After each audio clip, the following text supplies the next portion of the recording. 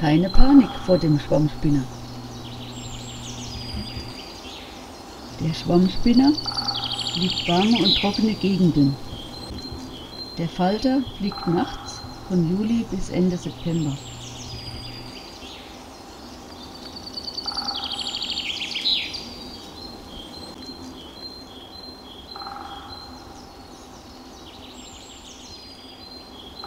Die Raupen sind zwar für manche Menschen lästig, aber nicht gesundheitsgefährlich. Schädlich sind sie auch nur bei Massenvermehrung.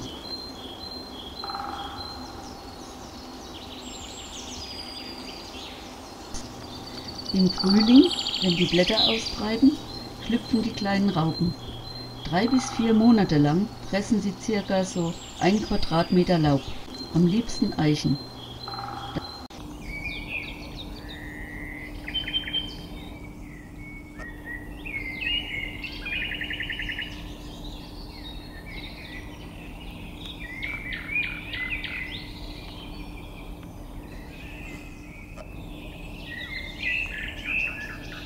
Dann verpuppen sie sich und ruhen zwei bis drei Wochen.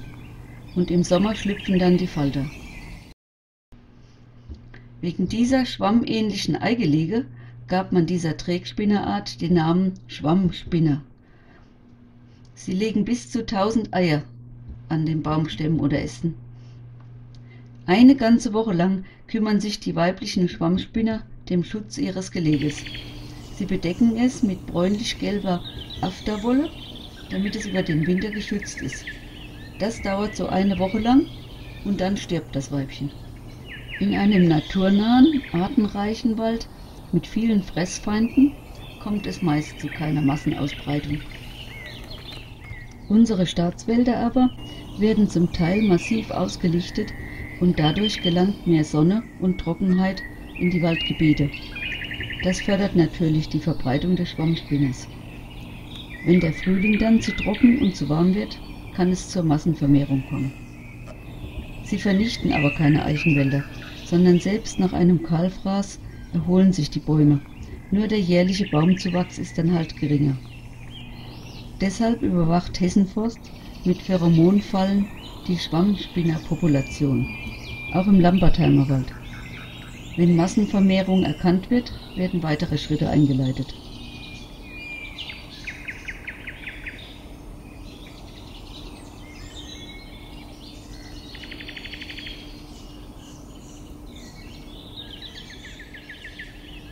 Die Raupen haben viele natürliche Fressfeinde, zum Beispiel Laufkiefer, Baumwanzen, Kröten, Vögel, Eidechsen etc. sowie Viren, Bakterien und Pilze bei Massenvermehrung nach waldbaulichen Fehlern. Die Natur redet alles bestens von selbst.